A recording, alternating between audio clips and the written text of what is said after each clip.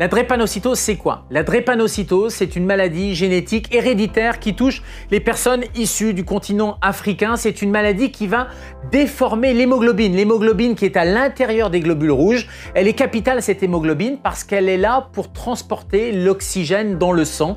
Et le fait d'avoir une drépanocytose et d'avoir une hémoglobine déformée va diminuer la capacité de transport en oxygène. Plusieurs euh, symptômes. Ce premier symptôme, c'est l'anémie. On vous fait une prise de sang et vous avez une anémie. On va aller chercher plus loin et on va aller mettre en évidence cette drépanocytose. Et puis deuxième symptôme, ce sont les crises vaso-occlusives aiguës. Ce sont des crises douloureuses au niveau d'un membre par exemple, parce que l'hémoglobine déformée va empêcher la circulation sanguine, va boucher les vaisseaux au niveau d'un membre et ça crée des crises extrêmement douloureuses, notamment quand on manque d'oxygène.